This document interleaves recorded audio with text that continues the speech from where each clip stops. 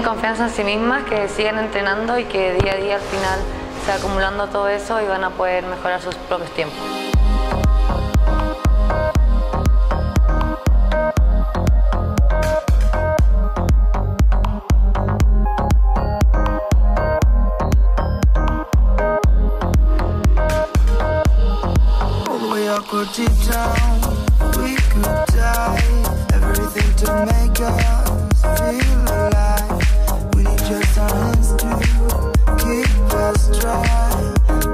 Divido mi rutina de ejercicio en saltos, en velocidad y en resistencia.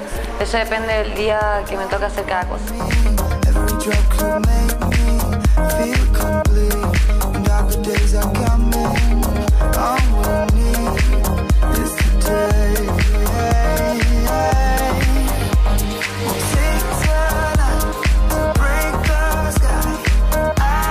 Preocupo de mi piel y tanto en Chile como cuando viajo a competir a otras partes donde hay bastante sol, obviamente eh, pongo bloqueador en todo el cuerpo para así poder cuidarme.